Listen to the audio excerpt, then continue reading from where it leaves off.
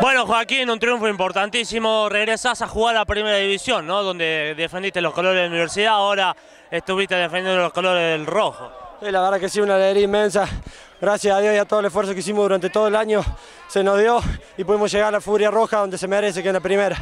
Bueno, en un clásico contra Dehesa, sacaron un gol más de diferencia ya en Cabrera y por eso regresan a la primera, ¿no? Sí, sabíamos que iba a ser fundamental la diferencia que, que hagamos en la cancha nuestra, que es una cancha grande, lo pudimos lograr, eh, nos llevamos el 2 a 0 y creo que hoy con mucho esfuerzo eh, pudimos aguantar el resultado, terminamos 2 a 1 y lo llevamos la victoria. ¿Sufrieron demasiado? Sí, bastante para mi gusto, pero bueno, lo que cuesta es lo que vale y Dolores eh, con este triunfo se va muy contento la...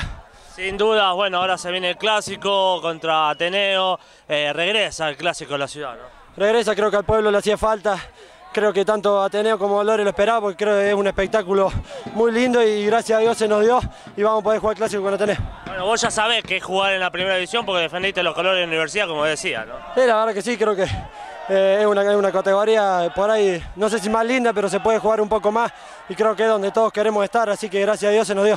Muchas gracias a festejar porque esto va a ser largo, ¿no? Gracias, vamos a ir festejando.